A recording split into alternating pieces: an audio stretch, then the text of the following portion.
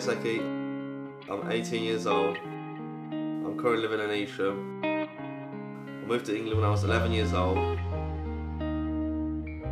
And this is my story. Every year, thousands of people come to the UK looking for money, jobs, and a better life. Many of these hard-working people are mistreated by a minority of the British public solely because they aren't from the UK. We are going to tell you Dom's story of how he adapted to life in the UK. Well, I'm um, from a small town called Kielce, um, from about south in Poland. No one really knows the town. It's um, near to um, it's quite a big town, Krakow. It's quite it's quite a national nationally known town uh, for like the monuments and stuff. Um, but yeah, the reason I came, well, firstly, my dad was the first one to come here. He was he's found a job in England, and um, obviously my my mum and myself, I've moved a year after him. He just he just thought we just thought we have a better life in here, um, and see see how things will go. Maybe like he was thinking about like future and stuff, his future, and uh, we just thought you know we'll see what happens. Many immigrants arrive in the UK in the hope they can gain work and financial security which their native homes can't provide. The UK also provides opportunities such as a strong education system and better healthcare. However, there can be many barriers such as learning the English language. It was it was quite scary thinking I have to I to go to, I didn't have to go to school straight away. Um, I had like two months to get obviously used to the environment and country, but um, learn, I just learned English as I was in school. Obviously, speak. I tried to listen to music that was English, trying to trying to speak to people as, as best as I could. But it was yeah, it was it was hard. But it took me like it was really quick to learn it. I don't know why why why it was so quick. I learned. It, it must have been about four to five months that I learned like communicate with others, so they understood me. I did I did have um, in year seven when I was starting different school when I moved to high school. Um, obviously, another school, another new bunch of people to meet and stuff, trying to get along with them.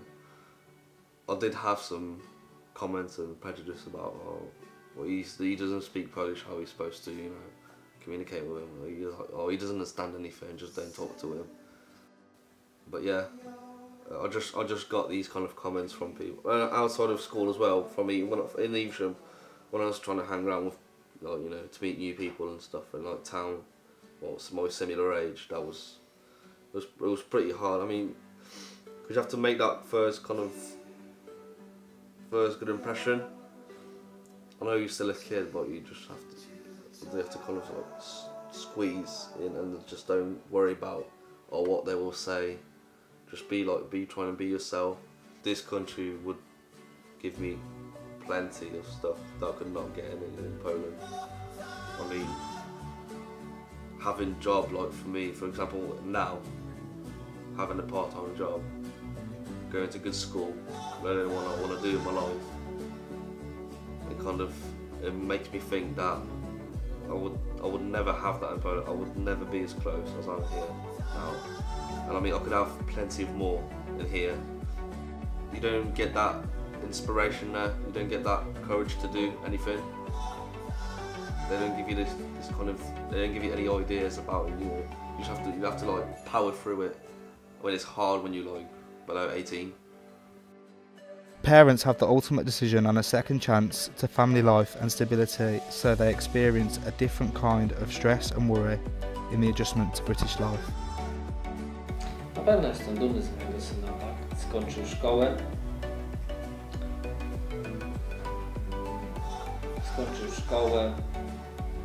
W tej chwili uczęszcza do koledżu. Świetnie rozmawia po angielsku, po polsku, pisze, porozumiewa się w dwóch językach w sposób biegły. Pracuje dodatkowo. Na pewno zrobił wiele, wiele, wiele dobrych rzeczy. There were there were those days when I was still like 12, 13. I didn't I didn't have a lot of you know mates to talk to. I didn't have a lot of stuff to do because obviously what can you do when you have no, no mates when you're a kid? Not going out, you know, just staying in, and I just you know I was just getting bored and tired of it, and just you know I was just keeping the feelings inside, but I didn't want to tell my parents about it because I knew it would upset them. But once I just broken down and I said I, I don't want to be here anymore because I just I can't handle it. But the support I got from my parents and the stuff they explained to me what I could do, I mean it helped me a lot. Just powering through, um, being here, trying to get along with others, trying to meet someone, meet meet people, mates and stuff to get along, start conversations, do something together, you know. So you're not bored. This at this age you have to have you know, someone to talk to and stuff, not just your parents.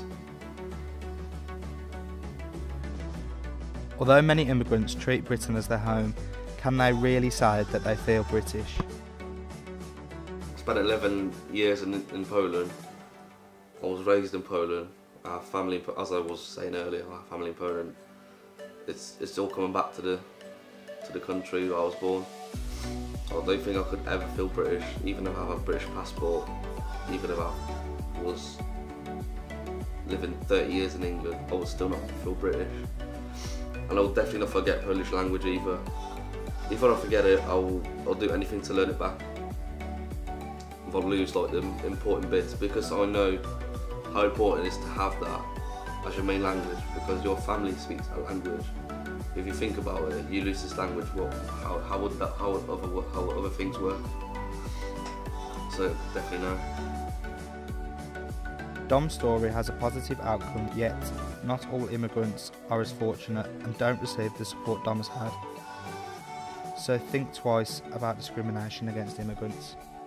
E, Nazywam się Dominik Piasecki. Jestem oficjalnie z Polski.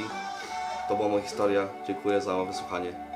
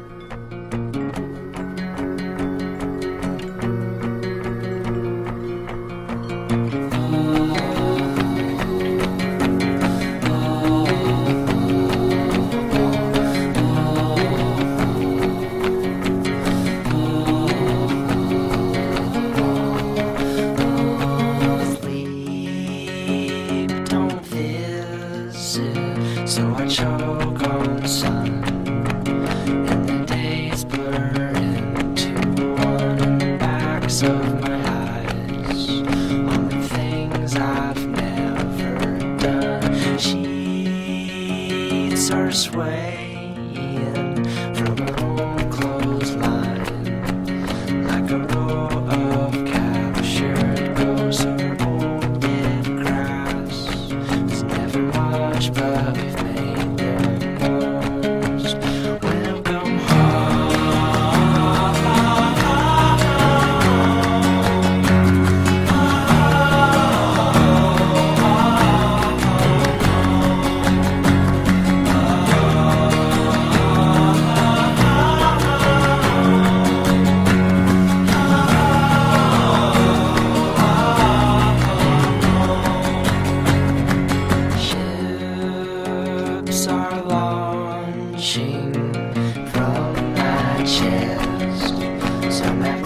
Christmas pie.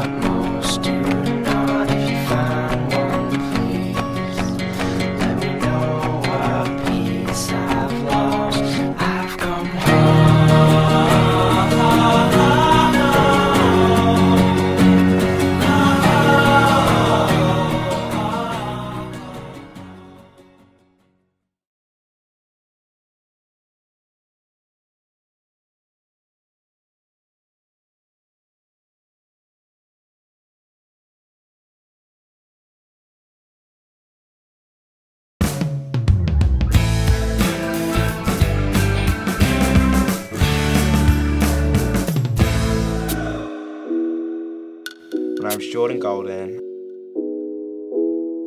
I'm 18 years old. I go to Stratford upon Avon College. And This is my story.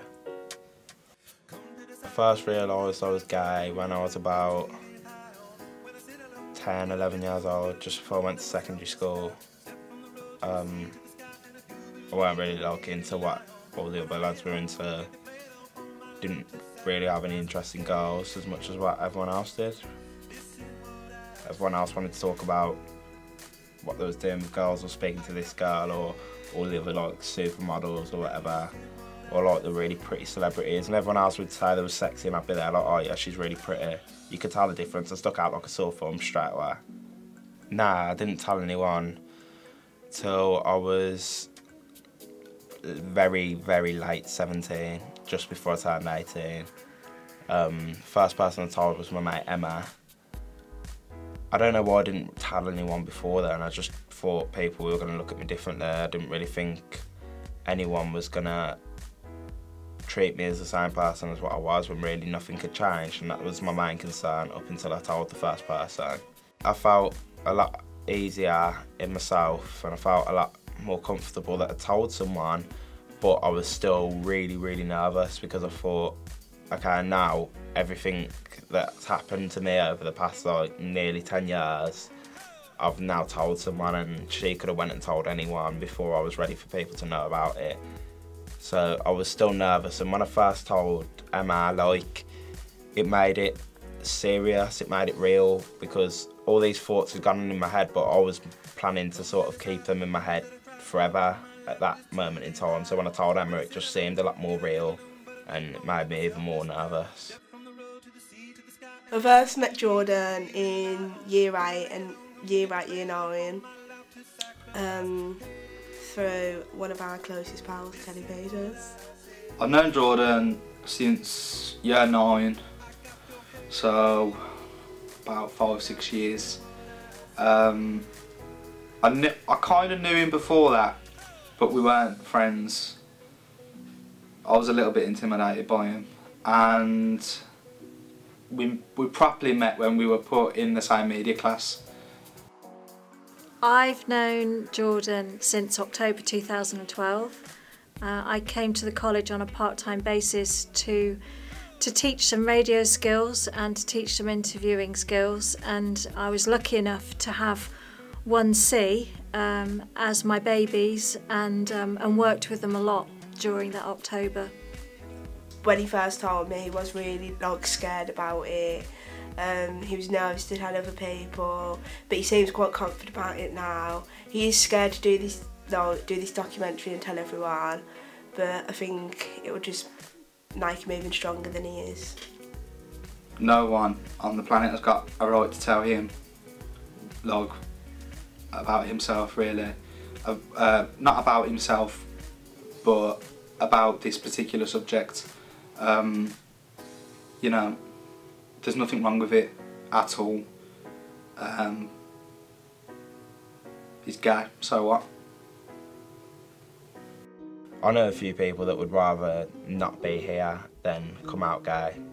Do you know what I mean? I think that's like quite worrying. I think it's quite alarming. Like I I used to be like that. Like I would have rather just not been here than tell people that I was gay because of, and that's not because I was ashamed of myself. I was more worried about everyone else being ashamed of me. I was worried about like my family being ashamed of me, my mates being ashamed of me. Like that's my main concern. So yeah, I would have done, any, done anything to change it, anything at all.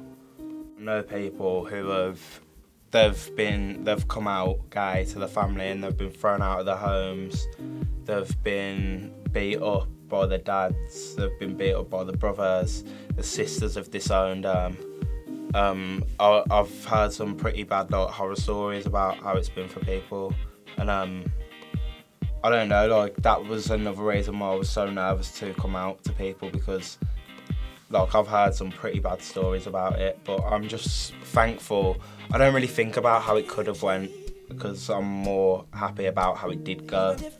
I try to focus on what's actually happening rather than what could have happened, if you understand what I mean. Like I'm just sort of glad that my experience has been positive so far. It may not be for much longer, but so far it has been good and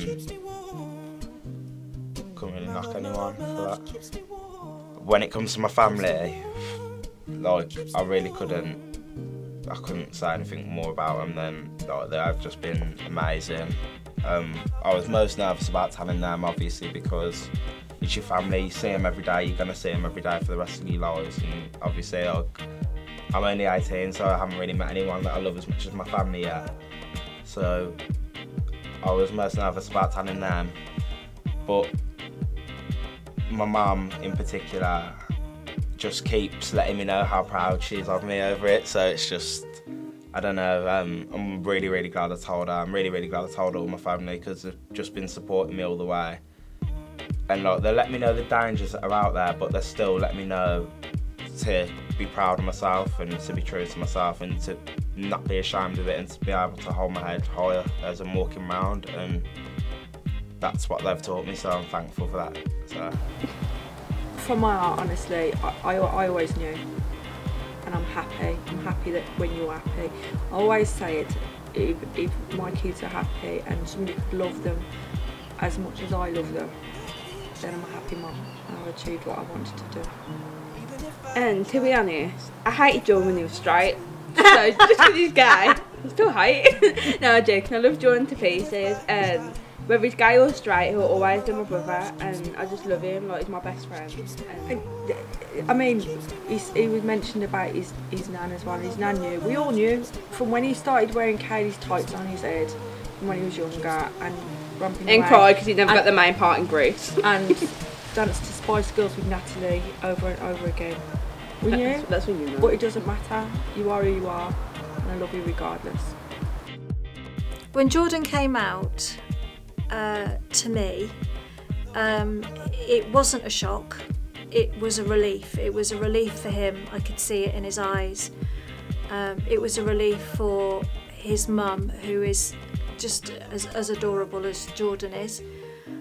Obviously me and Jordan don't do soppy stuff, but I tell him that I was proud of him and for what he's doing, and it's a really brave thing to do, and that I'll always be here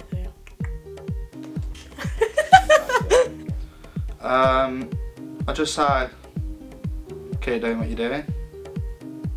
You know, keep being gay. There's nothing wrong with being gay. You know, be gay, do gay things, do whatever you want to do. You know what I mean? Don't let anyone tell you different. Sweet. Sweeter than that, mate. My message would be that Jordan will be my big brother no matter what, and I love him to pieces, and he can tell me anything the same way that I should be able to tell him anything. So yeah, I love you, Jordan. I'm very proud of you, and I love you regardless. And I know all the families behind you, and I know would be very proud of you. And just be happy, sexuality doesn't define you. It's having good morals and a good, good heart, and you've got both of them. So I know you're gonna go far. to anyone who's in my position or my situation, I'd definitely say to them not to beat yourself up over it because things are changing at the moment and you don't need to be worried about it anymore because I spent so long beating myself up over it and worrying about what like other people were going to think and what my mates were going to think and what my family were going to think and now I really, really wish that I didn't. Like all those nights that I stayed up and I weren't sleeping the whole night, and all those I like arguments that I'd have with people if they said anything to me about being gay. My experiences now are better than what they were before I come out gay. So everyone's got to do it in their own time, and everyone will know when they're ready to. But it's not something that people need to worry about, and it's not something that you need to lose sleep over or stress over or get upset over. You should be proud of yourself. My name's Jordan Golden, I'm 18, I'm gay, and this was my story.